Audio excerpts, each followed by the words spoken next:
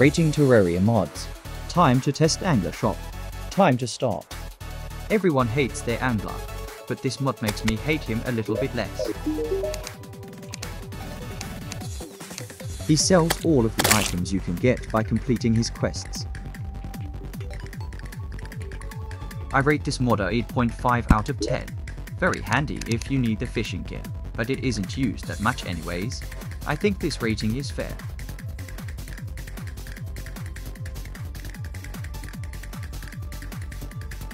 See you next time.